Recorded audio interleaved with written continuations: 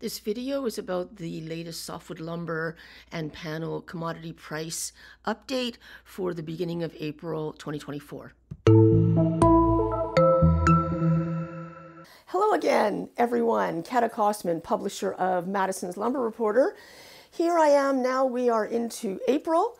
We've had Easter, which is a big holiday in Canada and often marks a turning point or uh, potentially start up of the spring building season and increase in lumber demand, potentially prices, and hopefully uh, sales volumes. We did not have that. So, in fact, uh, last week, uh, just at the end of the first week of April, we had to print down on some prices. The benchmark that I talk about a lot, the Western Spruce uh, 2x4, did manage to hold.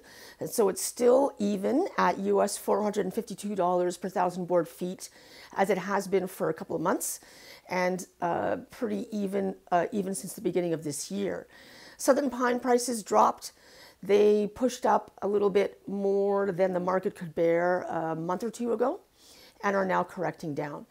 So, that doesn't bode entirely well for what we would be expecting already now increase in demand uh, for building projects coming online in spring.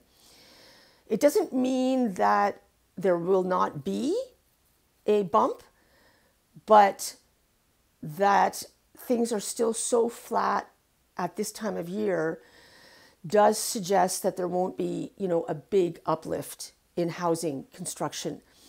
We have had years like this in the past where, you know, oddly, it, kind of felt like the archer was pulling back on the bow, not releasing, just because it feels like there should be an uptick in demand and construction uh, now into, you know, as May comes on and really uh, spring and summer weather, doesn't mean it actually will. There have been times where there was literally a six weeks bump in housing. The wood that uh, folks had ordered, you know, sort of February till now, April, was enough for what they were doing.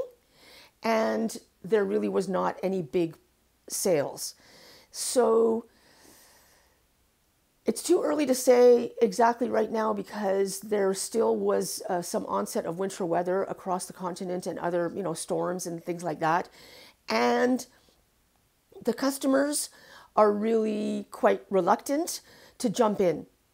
So ever since the uh, mortgage rate increases happened in the middle of 2022, the buyers have been very, very cautious and are not stocking on inventory a lot of times, given the seasonality, like uh, when things slow down in Labor Day, as I always say, and then really come to a halt by US Thanksgiving and pick up again, you know, February, and then the actual building, you know, April, May, June. Normally, when that seasonality was in play and uh, other things were a little bit more predictable, like employment, interest rates, housing starts, all that kind of stuff, there would be an obvious increase in lumber buying and people would be stocking inventory.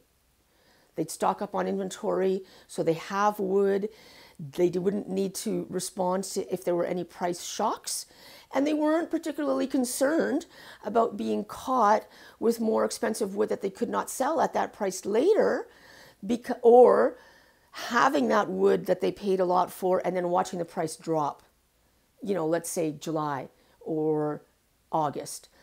So that could come back to bite them if there is an increase in building.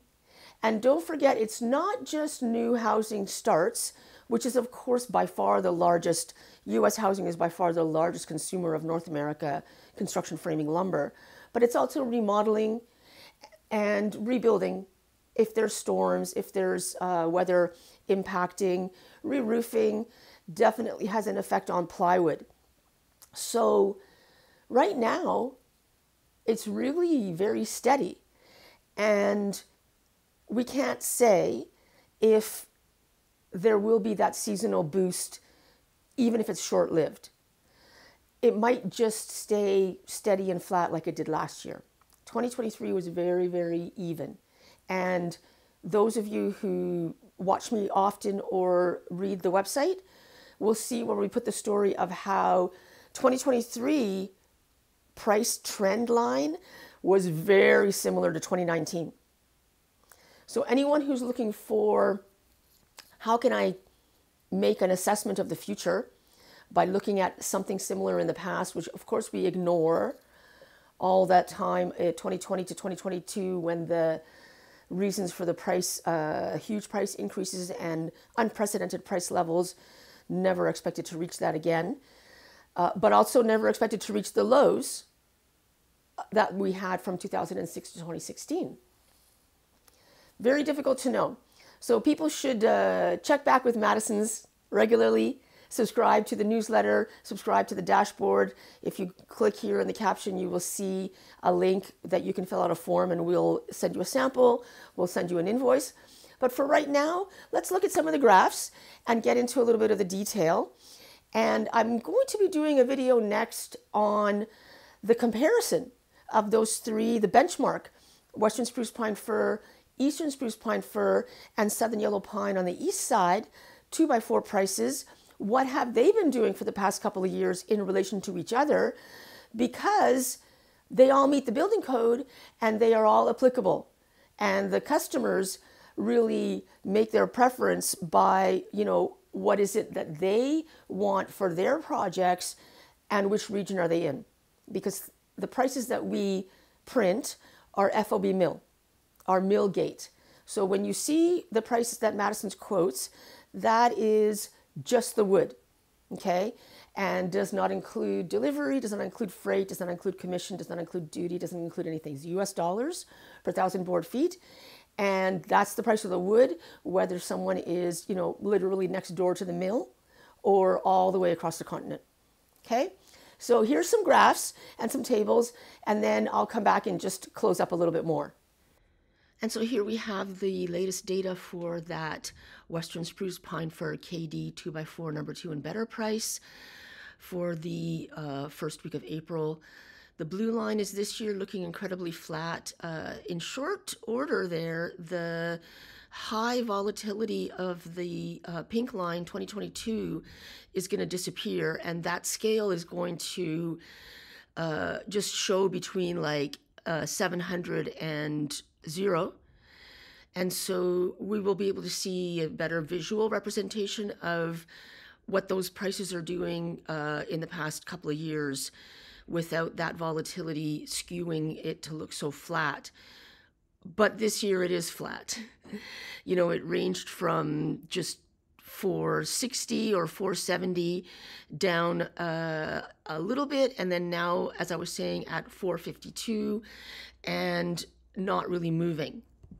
Meanwhile, some of the other prices uh, have dropped a little bit, specifically that southern pine on the east side.